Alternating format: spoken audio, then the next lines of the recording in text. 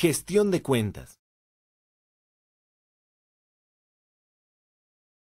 Para que los usuarios puedan acceder al servidor, gestiona su creación o eliminación y organízalos en grupos según las áreas de la organización. Para crear un usuario dentro de la terminal, escribe como root user add y el nombre del usuario. Escribe el siguiente comando y el nombre del usuario para asignarle una contraseña. Después, ingresa la contraseña del usuario y confírmala cuando el sistema te lo solicite. Verifica que se haya creado el usuario en el directorio Home. Teclea ls para verificar la existencia del usuario. Para eliminar un usuario, escribe como root el siguiente comando y el nombre del usuario. Para verificar su eliminación, ve al directorio Home. Teclea ls para verificar que haya sido eliminado. Crear y administrar grupos te permite tener un mejor control de accesos al servidor. Para crear un grupo, escribe como root en la terminal este comando y el nombre del grupo. Escribe la siguiente instrucción, el nombre del usuario y el grupo. Realiza este paso por cada usuario que agregues al grupo. Teclea Groups y el nombre del usuario para verificar que haya sido agregado. Este debe aparecer al lado del grupo al que pertenece. Para cambiarle el nombre al grupo, escribe el siguiente comando.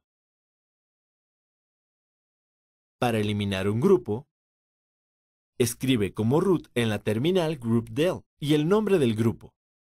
Ingresa Groups y el nombre de algunos de los usuarios que pertenecían al grupo que acabas de eliminar. Aparecerán esos usuarios sin un grupo asignado. Si eliminas un grupo, solo borras los permisos asignados al grupo, pero los usuarios de este permanecen en el sistema. Nunca dejes una sesión root abierta. Siempre cambia de usuario o ciérrala escribiendo exit y enter, o con el comando sudo.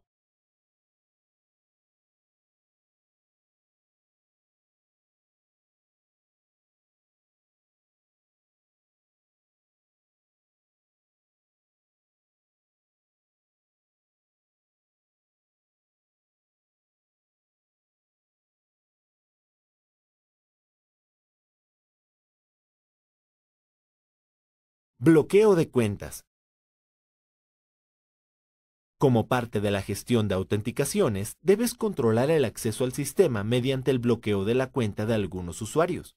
Así evitarás pérdidas de información o mal uso de los recursos del servidor. El bloqueo de usuarios se utiliza como una medida para evitar la eliminación de la cuenta, ya que eliminar es un proceso irreversible e involucra toda la información contenida en esta. Algunos de los principales motivos para bloquear una cuenta son el usuario ha violado los acuerdos de uso de los programas o recursos del servidor. Se ha ingresado a una carpeta o acceso no autorizado. Cambio repentino de contraseñas por olvido o robo de identidad. Pérdida intencional o por descuido de la información. Para realizar el bloqueo, consulta con las autoridades correspondientes la cuenta activa que quieres bloquear. Ingresa la cuenta de administrador y utiliza el siguiente comando en la consola para bloquear la cuenta. Y oprime Enter. Luego cierra sesión. Verifica que esté bloqueada, intentando ingresar de nuevo. Si la quieres desbloquear, utiliza los siguientes comandos dentro de la sesión de tu cuenta de administrador. Verifica que puedes ingresar nuevamente.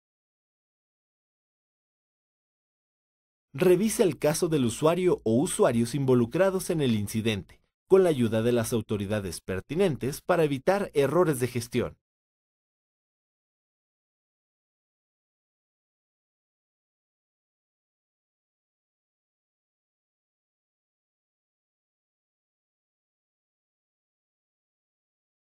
Deshabilitar servicios. Al administrar un servidor, pueden ocurrir fallas como servicios que no inician correctamente o están sobresaturados. Para solucionarlos, debes iniciar, detener y reiniciar cada servicio e incluso el propio servidor. Para solucionar estas fallas en los servicios, usa el comando System Control de la siguiente manera. Observa una lista en la terminal de todos los servicios en el sistema con este comando y presiona Enter. Cada uno de los elementos de la lista se puede detener o reiniciar. Para salir, presiona Q. Observa el estatus de alguno de los servicios. Por ejemplo, el del firewall con el siguiente comando. En este caso, el servicio está activo.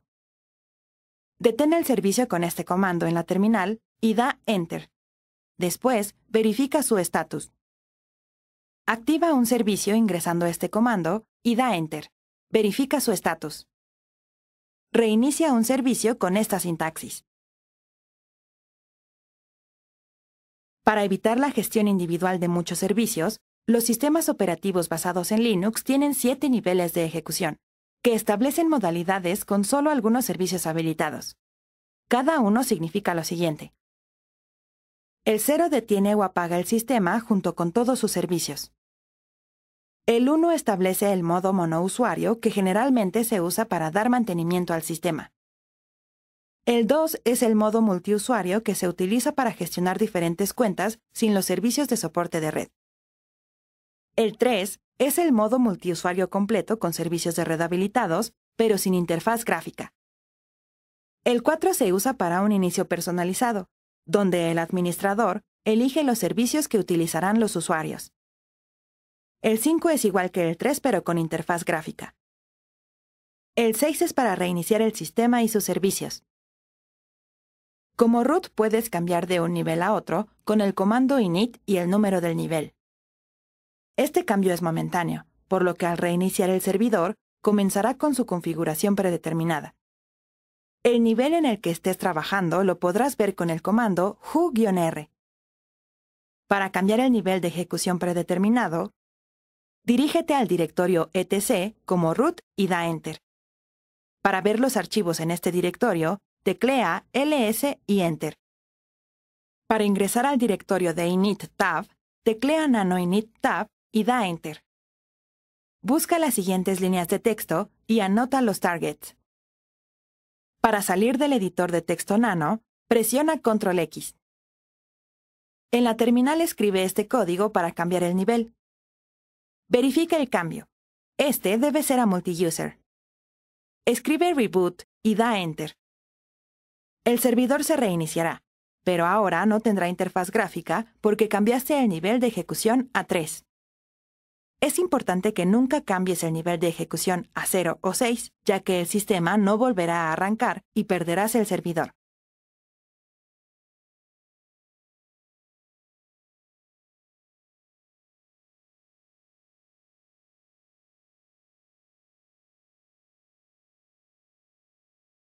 Protocolos y firewall.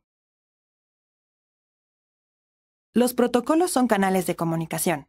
Cada uno tiene un puerto de identificación y está asociado con algún servicio o programa. Su acceso a los servicios está limitado por reglas, las cuales son controladas por el firewall del sistema. En la versión 7 de Linux, este programa se llama Firewall D. Este clasifica los protocolos del sistema en las siguientes zonas, con permisos de acceso particulares. Zona de descarte. Drop. Elimina cualquier paquete entrante y solo las conexiones de red salientes están disponibles. Zona de bloqueo. Permite solo conexiones establecidas dentro del servidor, y todas las demás peticiones de conexión se rechazan. Zona pública. Acepta las conexiones de un puerto específico y las otras se descartan. Zona externa. Actúa como un enrutador. Solo se permite la conexión especificada y las otras no se aceptan y se eliminan. Zona desmilitarizada, DMZ, delimita una zona a la que se puede permitir el acceso a algunos de los servicios al público. Acepta solo conexiones entrantes seleccionadas. Zona de trabajo. Definen redes internas, es decir, permite el tráfico de redes privadas. Zona de hogar. Se utiliza especialmente en hogares. Confía en las otras computadoras de la red. Permite solo las conexiones entrantes seleccionadas. Zona interna. Esta es similar a la zona de trabajo, Permite el tráfico de redes con conexiones seleccionadas permitidas. Zona confiable. Acepta todo el tráfico. Para limitar el acceso, realiza lo siguiente en la consola. Visualiza las zonas del firewall con el siguiente comando. Verifica la zona que usa actualmente el sistema con la siguiente línea. Usa lo siguiente si quieres cambiar la zona utilizada. Visualiza las zonas activas y las interfaces a las que están asociadas. En este caso, se observa que la zona de trabajo está asociada a la interfase de red de Ethernet. Realiza lo siguiente si quieres agregar un nuevo servicio a la zona, por ejemplo, el de NFS.